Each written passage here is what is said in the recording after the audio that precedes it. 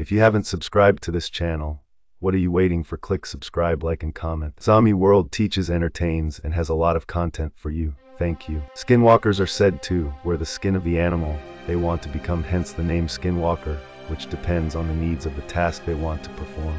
They might become a bear to have immense strength. Note that skinwalkers voluntarily assume this role. Skinwalkers can also read people's minds, control animals of the night, like owls, call up spirits of the dead, inflict pain, and are almost impossible to catch and get rid of. They must continue to kill or they'll die. Accordingly to legend, you can tell if you're in the presence of a skinwalker by their eyes. If you shine a light on one when they're in animal form, their eyes glow bright red.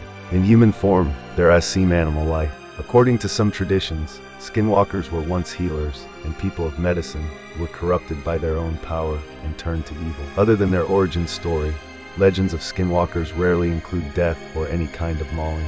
Instead, common stories include skinwalkers in their animal form running alongside a vehicle and matching their speed, even as the driver accelerates. Eventually, they get bored with this routine and simply disappear into the surrounding wilderness. In some respects, it seems rather playful, like a dog chasing a car that passes on the street.